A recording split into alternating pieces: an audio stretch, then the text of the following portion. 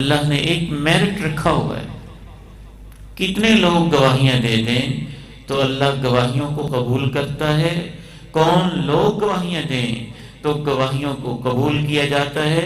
वैसे तो डाकू के हक में डाकू भी गवाहियाँ देते हैं, काफिरों के हक में काफिर भी गवाहियाँ दे देते हैं, मुशरकों के हक में मुशरक भी गवाहियाँ देते हैं, चोरों के हक में चोर भी गवाहियाँ देते हैं, मुमकिन है वो ऐसी भी गवाहियाँ देते हूँ, बड़ा अच्छा था, जब चोरी का माल तकसीम करते थे तो ज़्यादा नहीं लेता था, बड़ा अच्छा था जब डाका डालते थे तो ये सबसे आगे आगे होता था।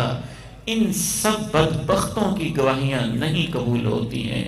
अल्लाह के प्यारे नबी सल्लल्लाहु अलैहि वसल्लम की तालीमात से पता चलता है, गवाही उसकी कबूल होती है। जो अकीदे वाला हो, गवाही उसकी कबूल होती है। जो एक अल्लाह वाहिद के सामने सर झुकाने वाला हो, गवाही उसकी कबूल होती है।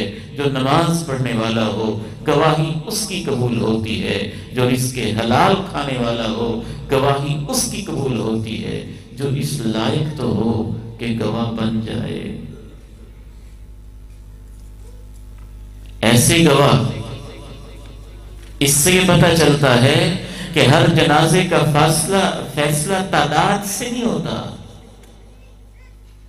सिर्फ़ गिनती पूरा करने से नहीं होता।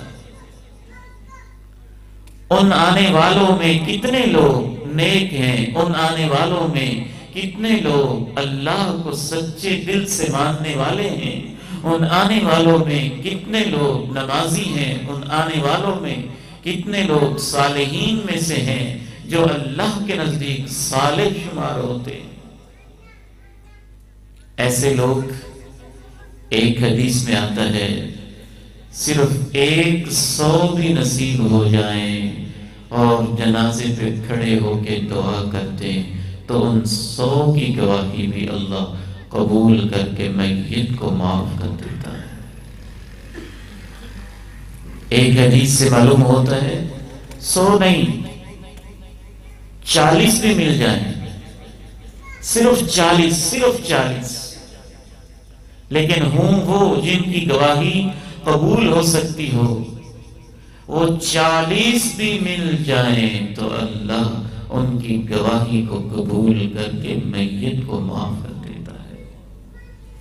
एक तीसरी हदीस से ये मालूम होता है कि ऐसे लोग सौ भी ना हो, चालीस भी ना हो, कोई दस बारह ही हो, थोड़े से ही हो, और उनकी तीन सफे बना दी जाएँ।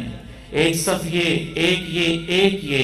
वो तीन सफों की ज़रूरत भी तब होती है जब वो चालीस से थोड़े हों, चालीस से ज़्यादा हों तो सफों को तोड़ने की ज़रूरत भी नहीं है। अगर चालीस से कम हों तीन सफे ऐसी मिल जाएँ।